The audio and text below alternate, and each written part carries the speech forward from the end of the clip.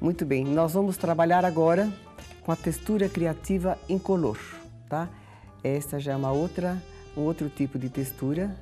Ela depois de seca, ela fica colorida, ela fica uma transparência muito bonita. Então nós vamos trabalhar sobre este vidro.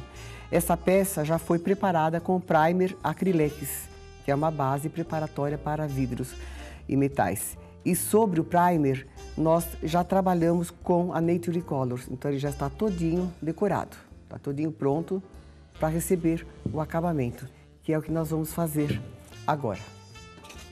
Essa textura, quando aplicada, ela é assim, um branco leitoso.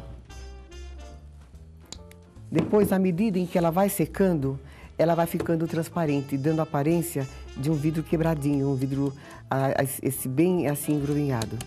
Olha, eu vou aplicar com uma, com uma esponja grossa. Olha. Então agora ele vai ficar assim todo, todo esbranquiçado. Olha, ele dá um aspecto assim bem bonito, dá um acabamento bonito. Inclusive, depois, quando você for usar com um biscoito, um balas, alguma coisa dentro, ele aparece o que tem dentro, porque ele fica completamente transparente.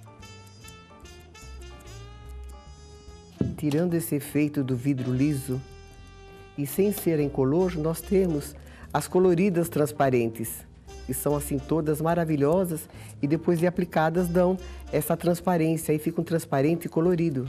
Aí nós temos lá amarelo, verde, rosa, vermelho, azul, violeta, preto. São assim, são cores belíssimas.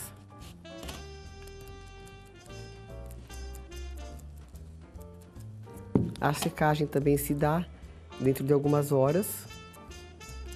Então, à medida em que vai ficando transparente, é sinal de que ele está secando. Pronto. Aqui está o nosso vidro rapidinho preparado. Olha, e depois de pronto, ele vai ficar assim.